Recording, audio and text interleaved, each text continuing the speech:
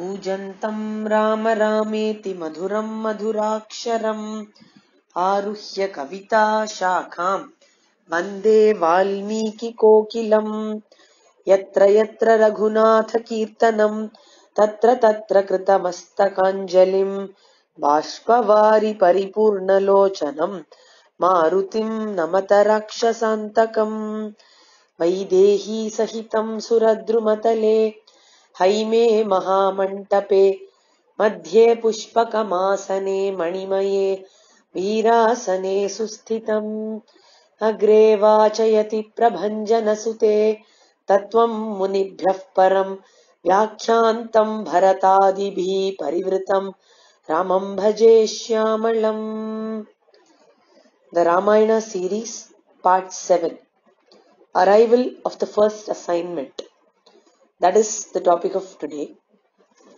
We saw that Lord Narayana incarnated as the son of Dasharatha and Kausalya Devi, Sri Rama, and this Rama grew up as the fond child of Ayodhya.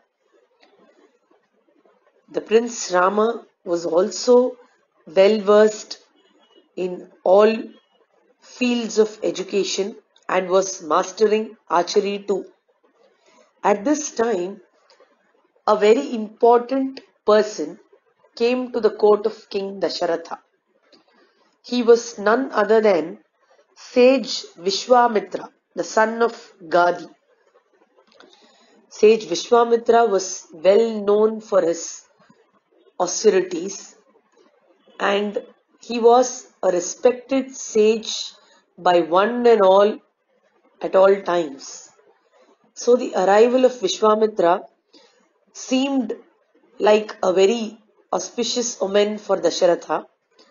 He very respectfully received the sage, offered him a seat, and told him as soon as he entered that it was his good fortune to have him in his palace and that he was ready to do anything that the sage ordered him to do. Sage Vishwamitra had come with an assignment in hand.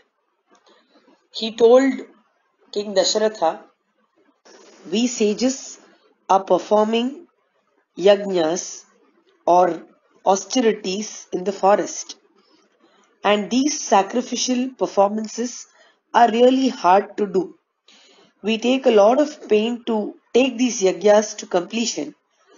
And just towards the conclusion of these yajnas, this sacred observance is interrupted by two notorious Rakshasas named as Subahu and Maricha, who are not only possessed of great prowess but also highly trained in warfare. And what they actually do is they come to this yagya, the yagyapita or the sacrificial altar with huge volumes of flesh and blood and they actually drop it in our area of sacrifice. So our sacrifice becomes completely useless, fruitless beyond that. And we really take so much pains to take the sacrifice to completion. And right at the time of completion, these people come and disrupt it and create havoc and go. So, hey Dasharatha, the ruler of the earth, I have to ask you to send your eldest and heroic son, Rama, who has unfailing prowess. And though he is a boy, he can, just by his power and glory, guard us against these Rakshasas. And if you send him with me, I will also grant him many, many boons so that he will attain fame in all the three worlds.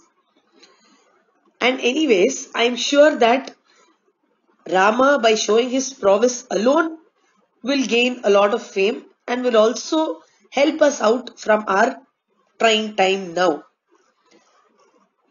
So now act according to the promise that you have given me that you will do anything for me. Send your son along with me to the forest so that he can fight these Rakshasas or ogres and give us peace. Listening to this, Dasharatha was stunned. He did not expect Vishwamitra to ask such a thing of him.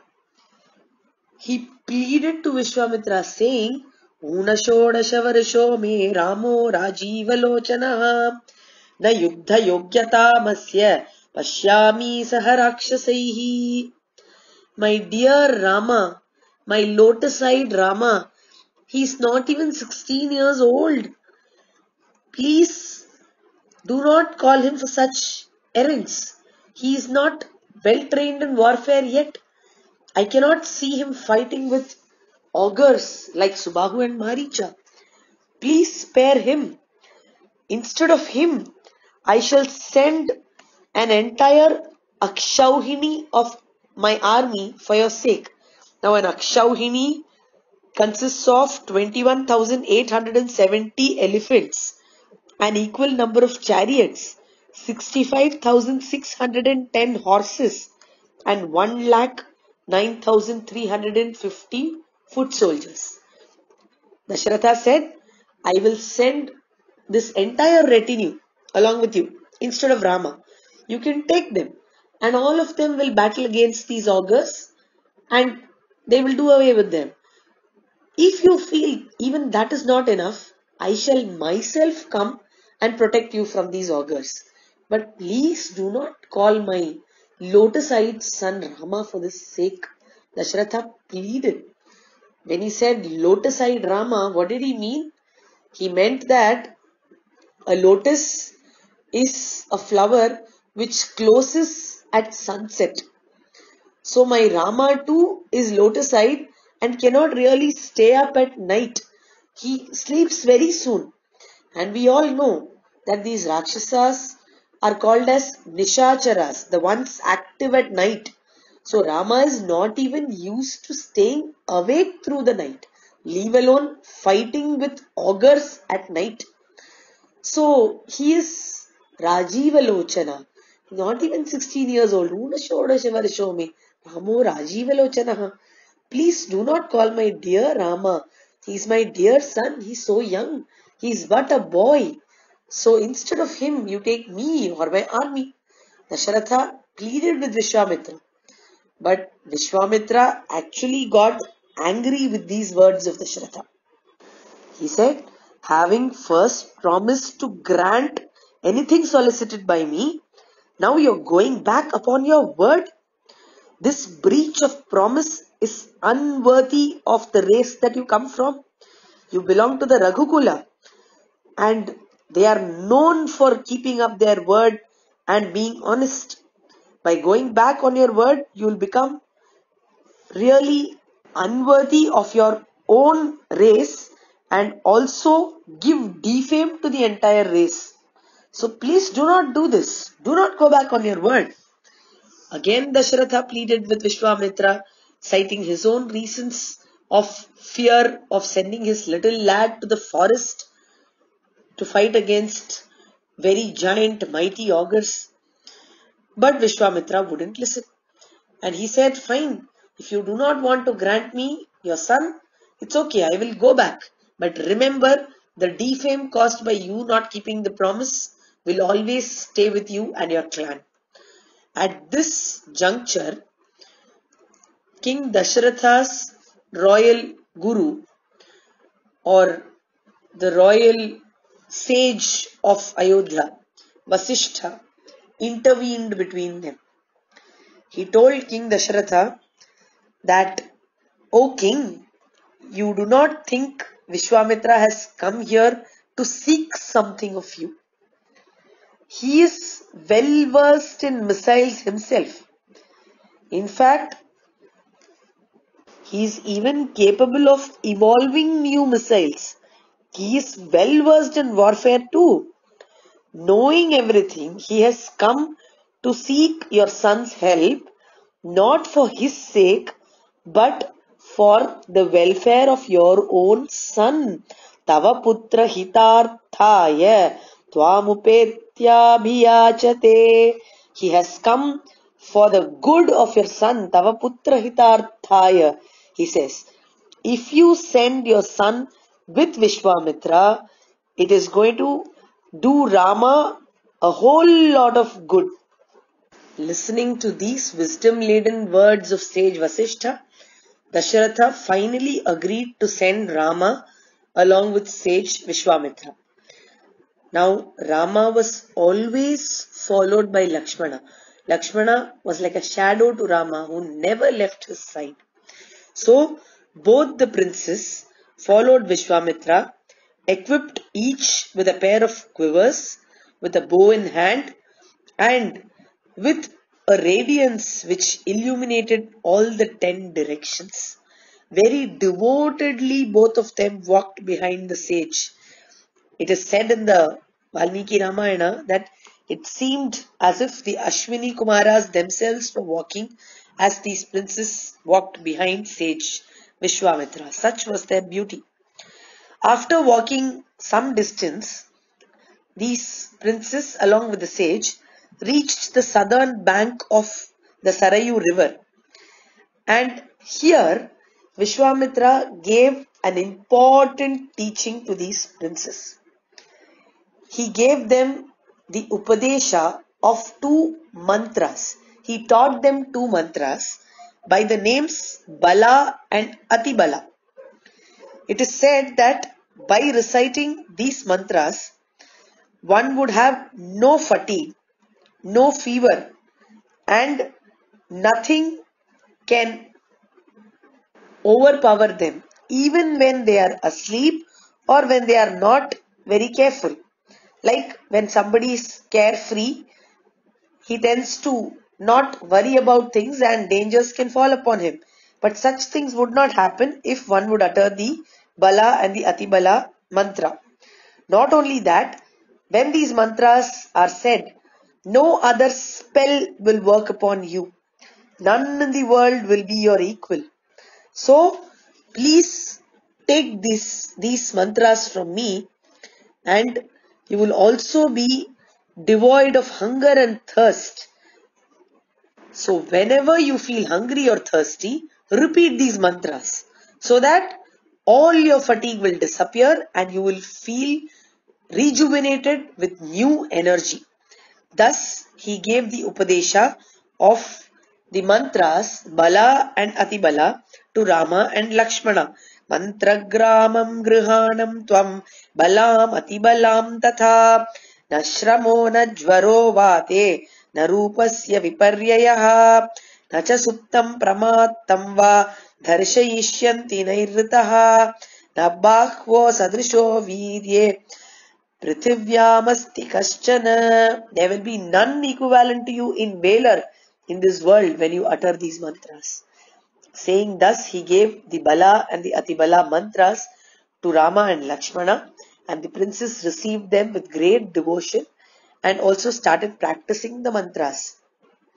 That night, very fondly, sage Vishwamitra lay a bed of grass for these princes and they slept off happily after their long journey behind the sage.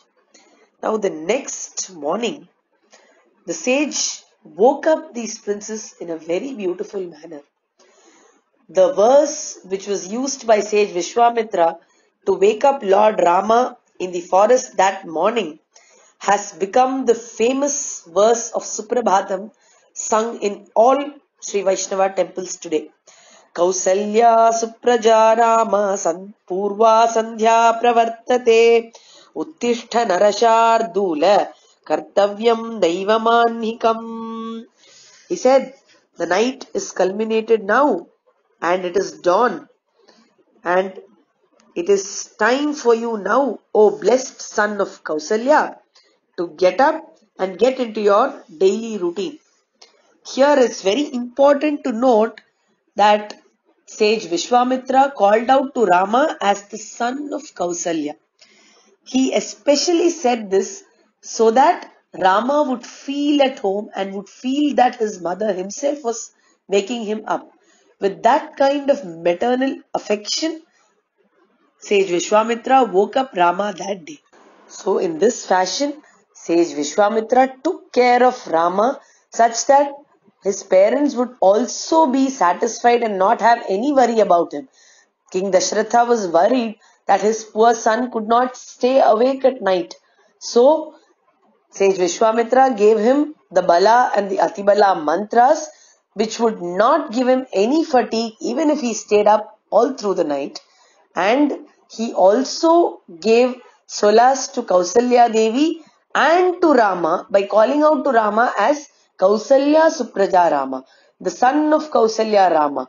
When Rama heard the name of Kausalya Devi, he felt at home and he felt that his mother was waking him up with great care.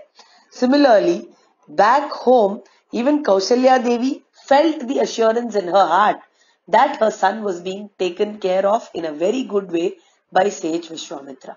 Anyways, Kausalya Devi had that confidence because she always had her heart and mind into righteousness. Thus, put on the first assignment, Rama and Lakshmana were ready to face the augurs with full enthusiasm. How they faced them, we shall see in the next part. कूजन्तं Ram रामेति मधुरं मधुराक्षरम् आरुह्य कविता शाखां वंदे वाल्मीकिकोकिलम् यत्र यत्र रघुनाथकीर्तनं तत्र तत्र कृतमस्तकाञ्जलिम् बाष्पवारि परिपूर्णलोचनम् मारुतिं नमत राक्षसान्तकम् वैदेही सहितं सुरद्रुमतले हैमे महामण्टपे मध्ये पुष्पकमासने मणिमये वीरासने सुस्थितम्। अग्रे वाचयति प्रभञ्जनसुते तत्त्वं मुनिभ्यः परम् व्याख्यान्तम् भरतादिभिः परिवृतम् रामम् भजे श्यामलम् The Ramayana series, part 8 Arrows spoke like spell.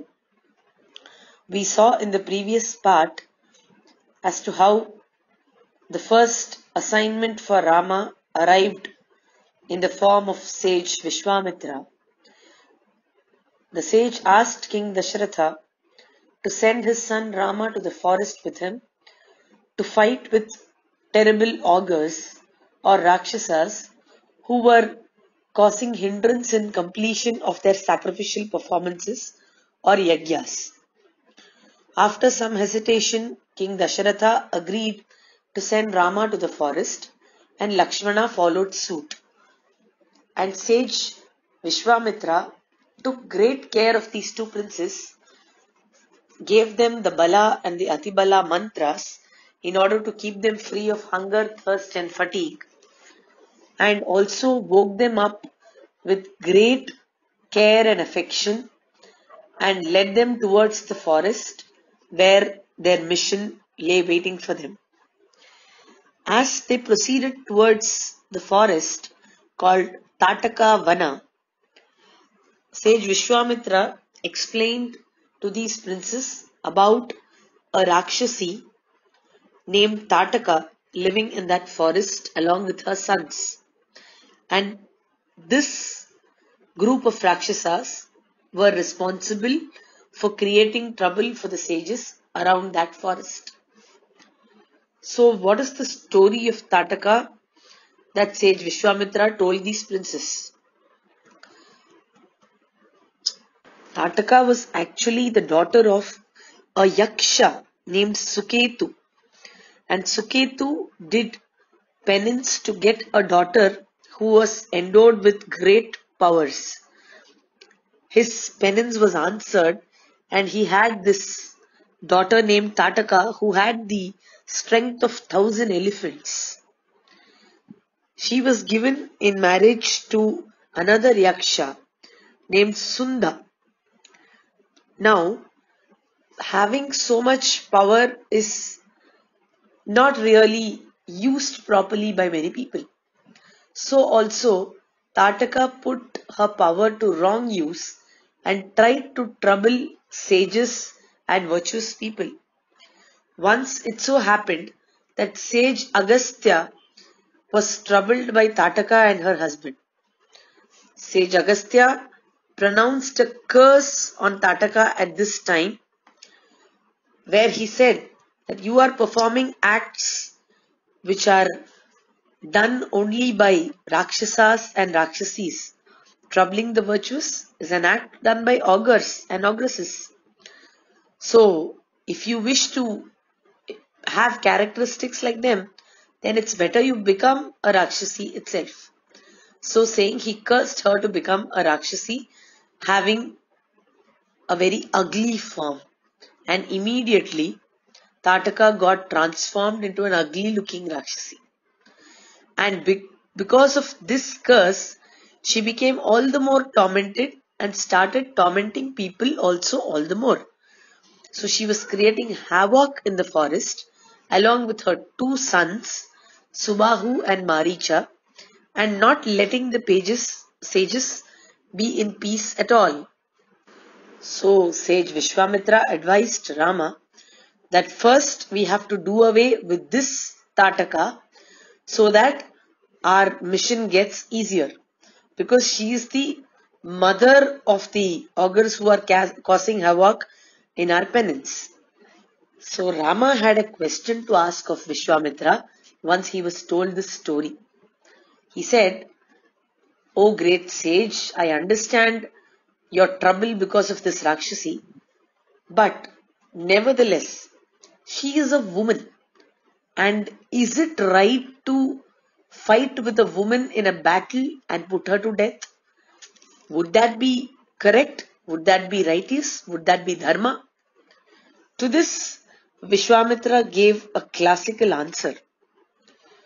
He said, Rajyabhara niyuktanam esha dharma sanatanaha adharmyam jahika kutstha dharmo hyasyam navidyate. When once, when one holds the responsibility of Rajyabhara or administration of the state, then he must look only at the welfare of the state. So if anything is causing hindrance to that welfare, then it is only dharma to get rid of that hindrance. Moreover, this ogress or Rakshasi is creating torment to virtuous people, the sages, who are responsible for keeping calm, happiness and prosperity in the state. So if she's going to trouble the very source of keeping the state happy, then it only becomes your duty to get rid of this very source of adharma. Getting rid of adharma is always dharma, righteousness. So you need not worry. And to support this argument of his, sage Vishwamitra gave Rama two instances when women had to be killed in battle. It so happened that the daughter of Virochana, named Manthara, was killed by Indra because she tried to destroy the whole earth. Similarly, the wife of Bhrigu Maharishi, Khyati, the mother of Shukracharya, once tried to support the Rakshasas against the Devas, for which she was killed by Lord Vishnu himself.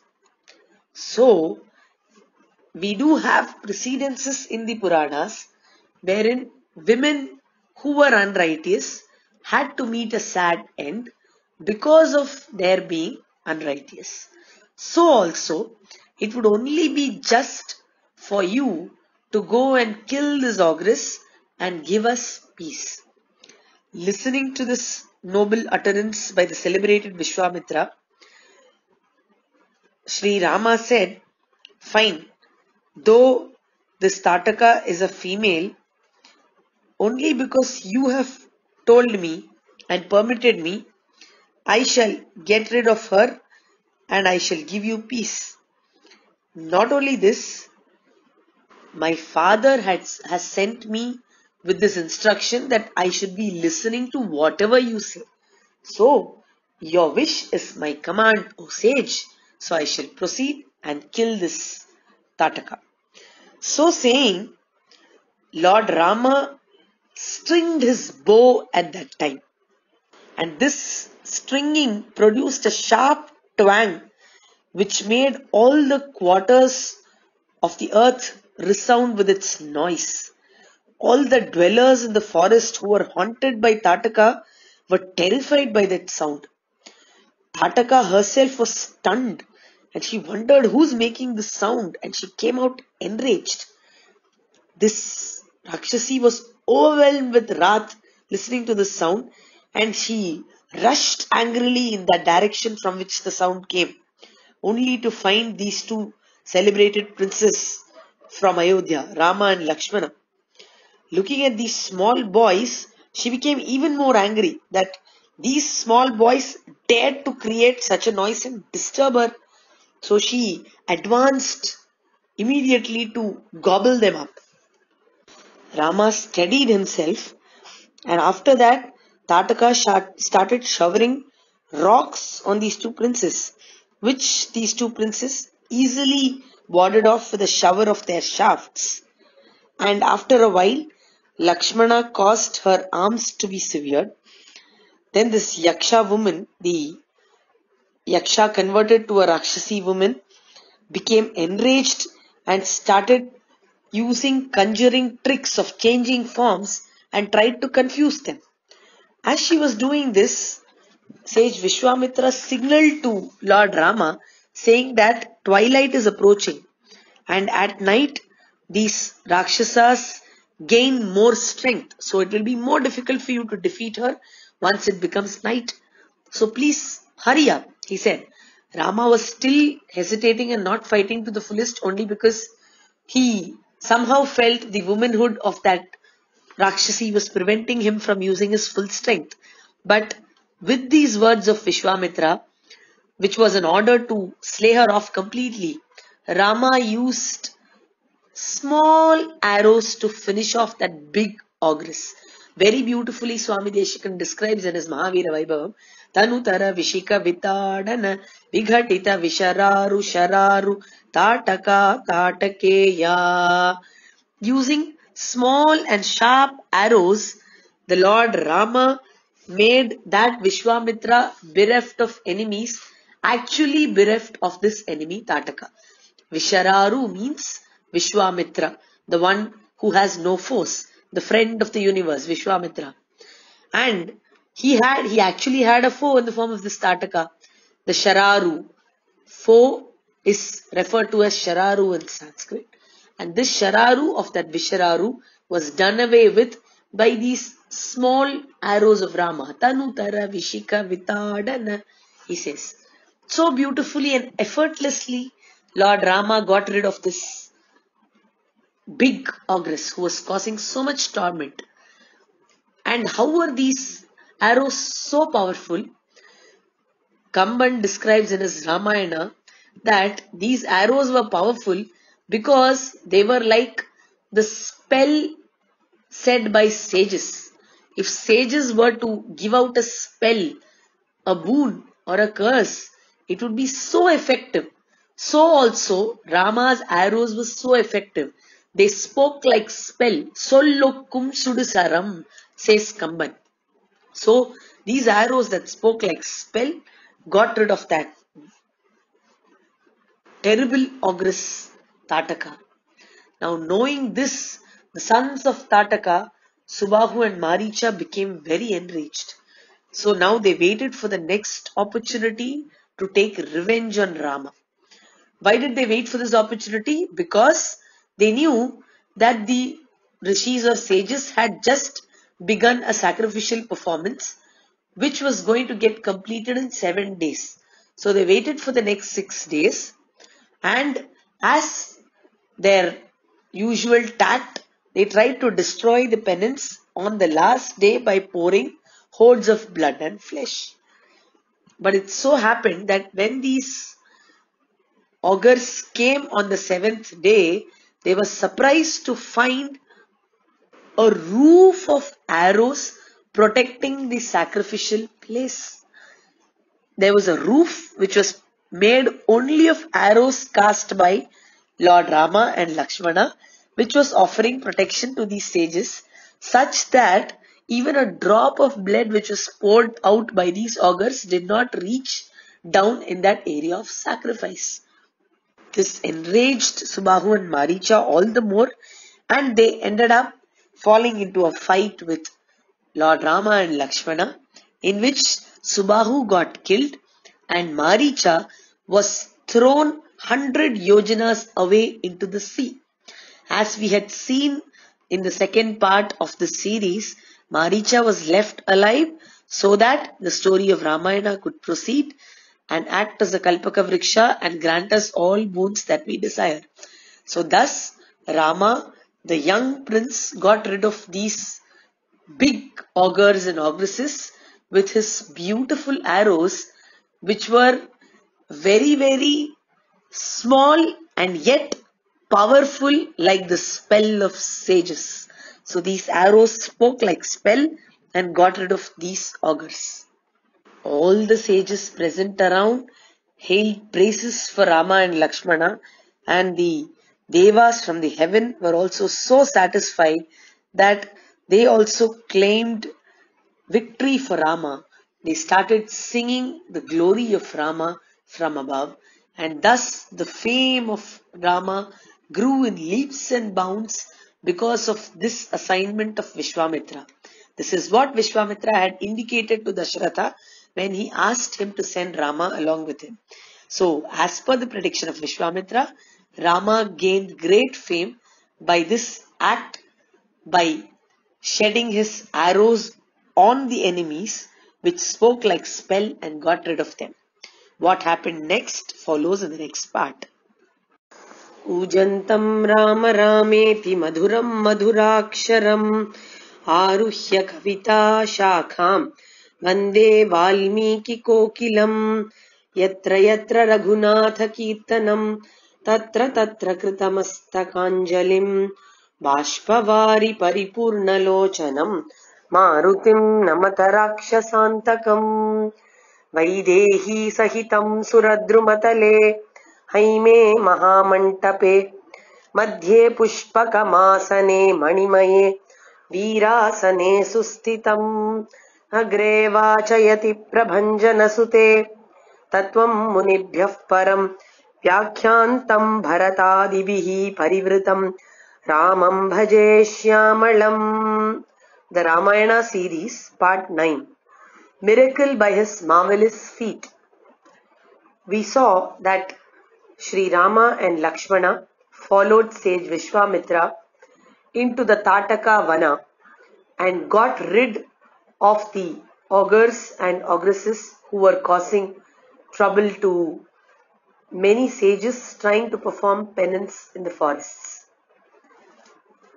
So in the process, Sri Rama got rid of Tataka, Subahu and Maricha and gave a lot of peace to the sages in these hermitages. Vishwamitra was very pleased with these princes and he wanted to reward them by teaching them the use of many weapons. It is said that Vishwamitra gave the Upadesha of the usage of many weapons to these princes, which includes the use of a number of chakras, discus, like the Danda Chakra, Dharma Chakra, Kala Chakra, Vishnu Chakra, Indra Chakra, and Brahma Chakra. He also taught them the use of many gadas, that is maces, named as Modaki, Shikhari, Pasha, and then he taught them the use of many missiles like Agneya, Hayashiras, Krauncha, Shakti, Mohana, Madana, Tamasa, Samavarta, Tejaprabha and Shiteshu. Like this, he taught them the use of many many weapons. Now all these names that I have enlisted just shows the extensive availability of weapons in those times and the mastery of sage Vishwamitra over all of them. And the same mastery he handed over to these princes and all these teachings were going to be useful for these princes in future to achieve their target. That is why the Upadesha of these weapons is an important event. And this was graciously taught by Vishwamitra to Rama and Lakshmana. It is said that all these weapons were mastered by these two princes and these weapons actually came and stood in front of Rama and said that they would be available for his use whenever he wanted them. Now, how do we understand this? Weapons coming and standing in front of Rama. What we need to understand is all these weapons are not just mere metallic objects, but they have some invocatory deity inside them. So the invocatory deity responsible for that weapon was ready to serve Rama at any point of time. So this is what we understand from this. Thus, receiving all the teachings about various weapons, these princes followed Vishwamitra across the forest as he took them along telling them a number of stories.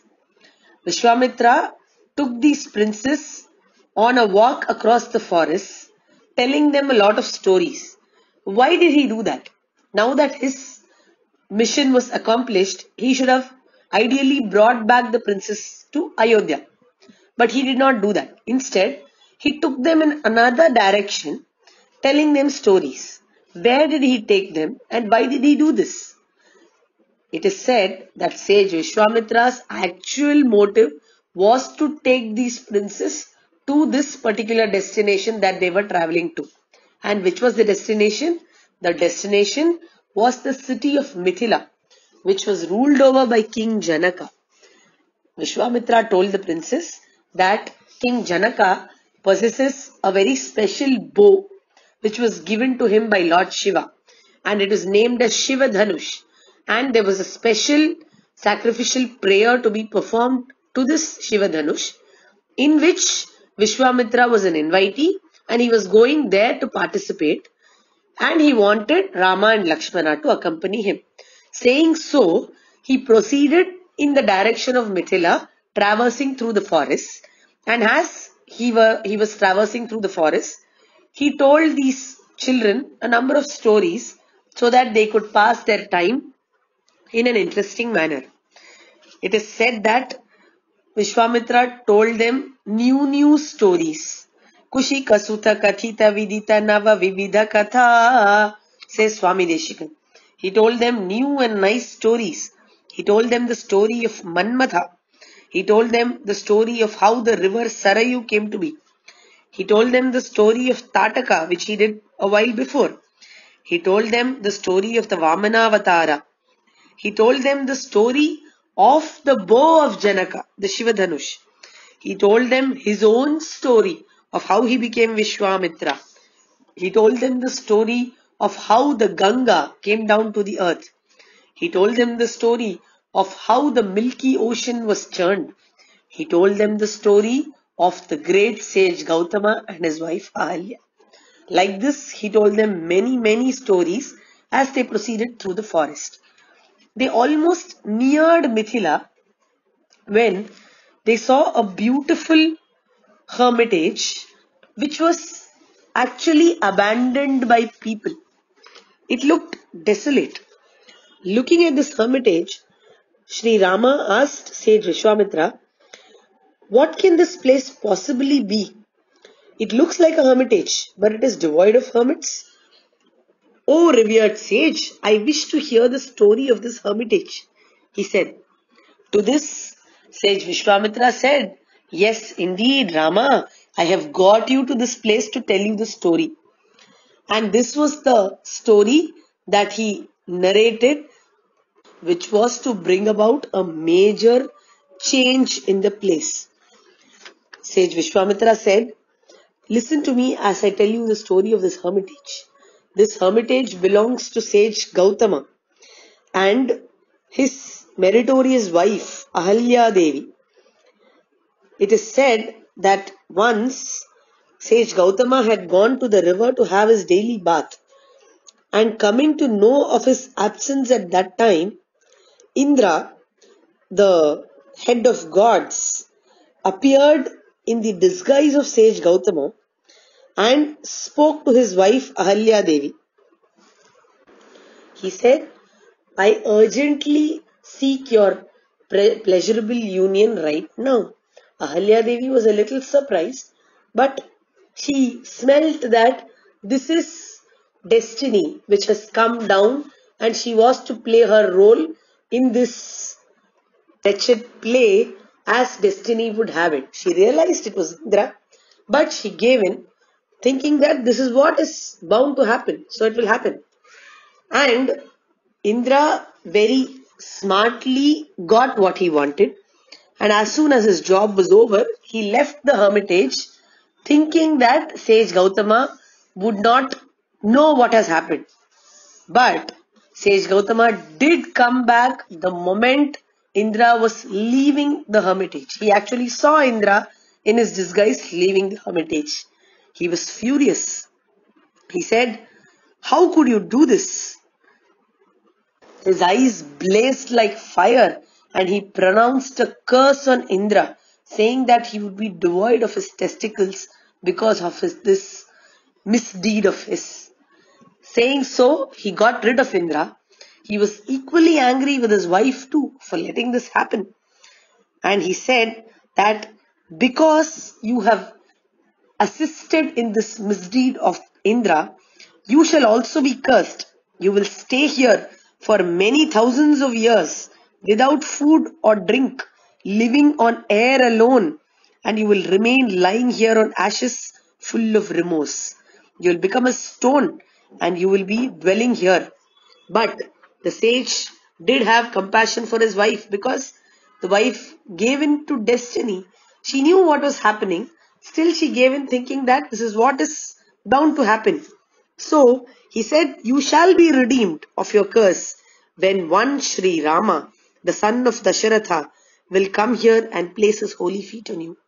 Saying so, sage Gautama left for penance in the Himalayas. And ever since that Lady Ahalya has been lying here as a stone unseen by anyone.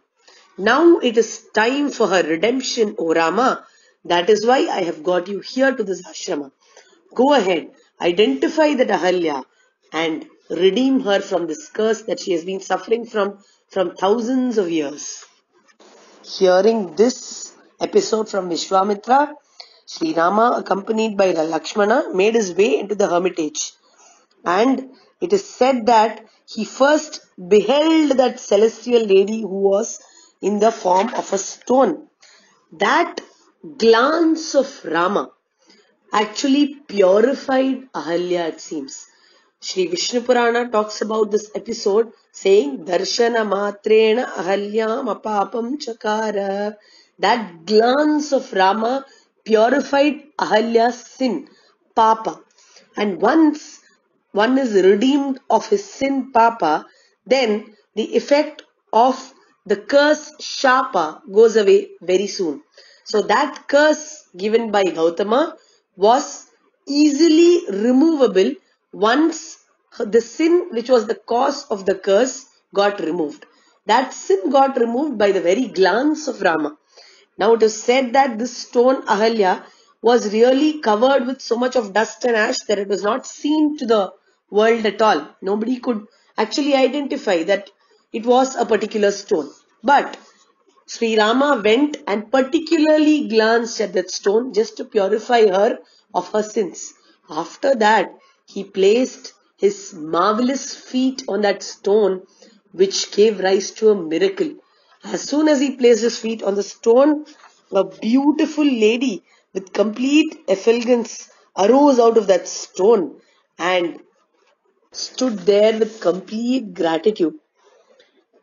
Now, this lady Ahalya has been redeemed by the marvelous feet of the Lord very miraculously. His feet was the one which caused her to come back to her normal form. But look at the greatness of the Lord. Ahalya was a great lady. And to prove that she was a great lady, Lord Rama and Lakshmana actually clasped her feet and took blessings from her after she was redeemed. They were the cause, rather, Lord Rama was the cause of her redemption. Nevertheless, after she was redeemed, he went and clasped her feet and took blessings from her because this lady had actually enacted her part in a divine play and undergone so much suffering just to show to the world that if something is to be happening because of destiny, it will happen. And whatever you're destined to suffer will happen. But if you patiently wait for your suffering to get over, that also happens. And that miracles can happen when you have association with the Lord. So all this was a divinely constructed play and Ahalya Devi played her part in the play so beautifully that she was the one who came to a position to bless Lord Rama himself. Lord Rama clasped her feet and sought her blessings as soon as she was redeemed back to her normal form.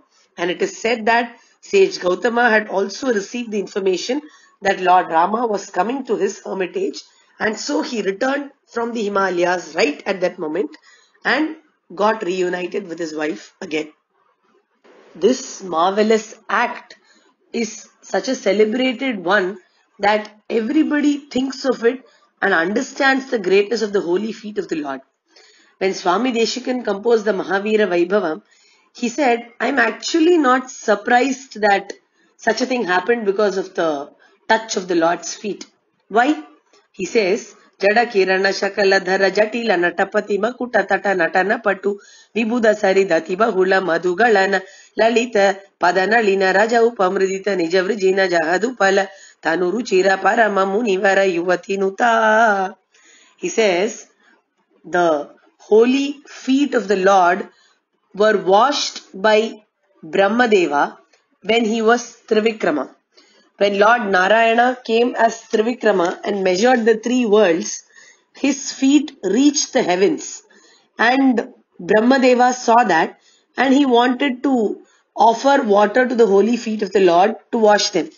So he offered water from his vessel called the Kamandalu.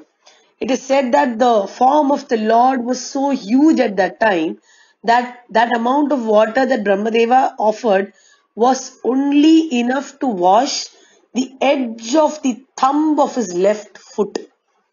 And that water which flowed down as he offered it was taken up by Shiva in his Jatamudi or on his matted locks on the head.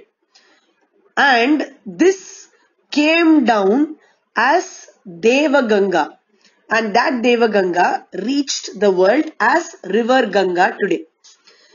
River Ganga is supposed to purify anyone and everyone of sins by taking a holy dip.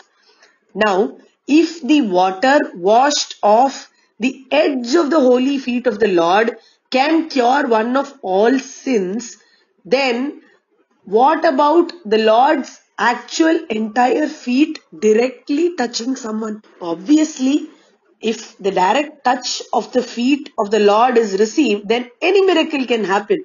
When the water which has touched a portion of the Lord's feet can cause miracles of curing sins of everybody in the world, then what to talk about the actual feet of the Lord touching something?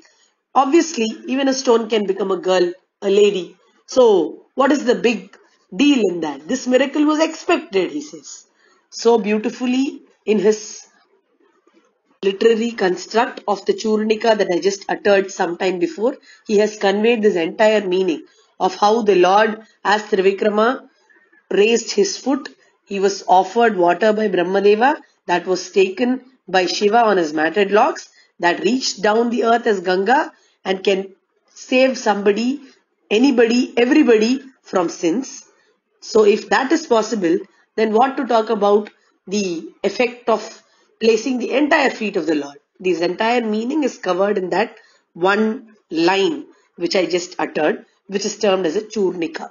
So thus, the marvelous feet of the Lord caused this wonderful miracle of a stone turning into a virtuous lady.